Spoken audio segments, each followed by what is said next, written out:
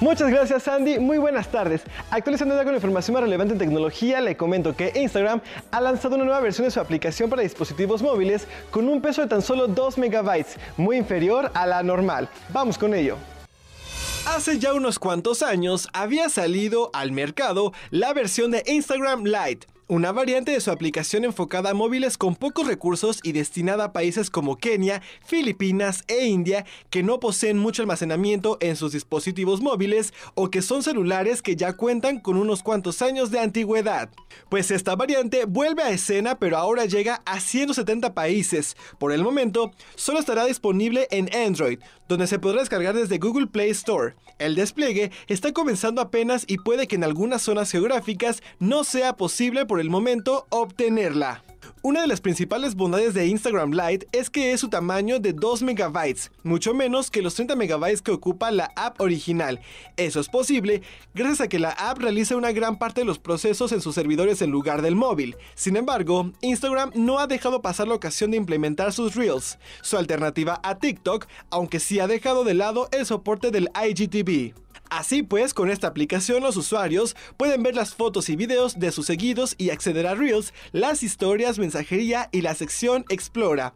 Que Instagram haya dejado el soporte para Reels no es casualidad, ya que TikTok está bloqueada en India y una buena parte de sus usuarios son de allí, por lo que es la oportunidad excelente para potenciar su plataforma de videos. Eso sí, se podrán ver pero no grabar. Otro aspecto a destacar es que por el momento la aplicación no tiene anuncios. Si bien desde Instagram afirman que esta está comprometido en ofrecer la suite completa de herramientas de monetización, por lo que cabe esperar que lleguen en algún momento estos anuncios.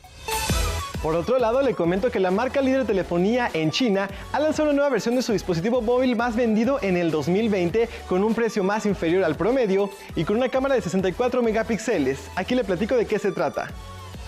Huawei lanza una nueva edición de uno de sus principales móviles del 2020 y uno de los más vendidos de ese año. Se trata del Huawei Mate 40e, una versión algo más ligera y con un precio más accesible para muchos consumidores. La novedad más significativa es el procesador. Cambia del Kirin 9000 por el Kirin 990i. Sin embargo, esto es compensado con la nueva cámara que posee una capacidad de 64 píxeles, una de las más desarrolladas del momento.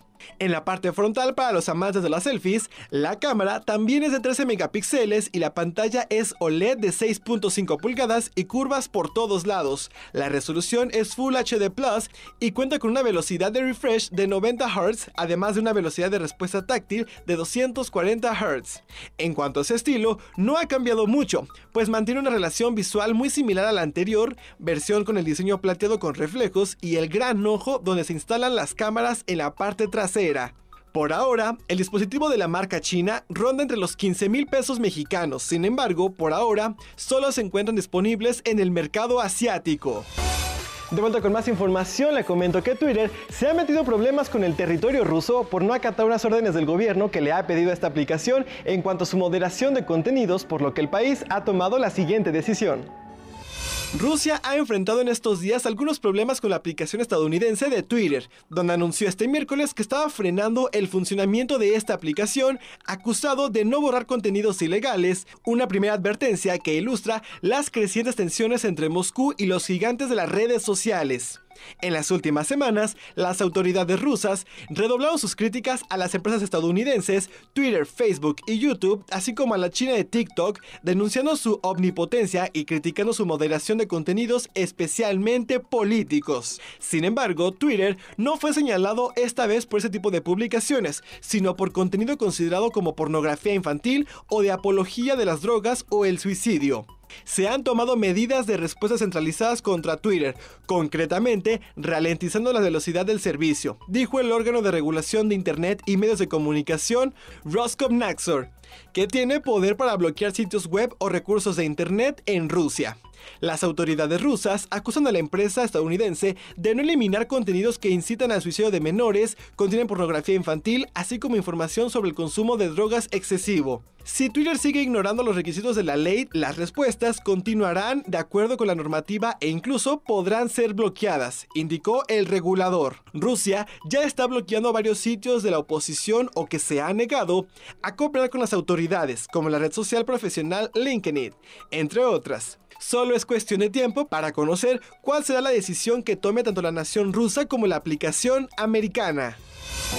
Hasta aquí el deporte de tecnología más relevante del momento, informando y conociendo los avances científicos y tecnológicos de la actualidad. Muchas gracias Andy, regreso contigo.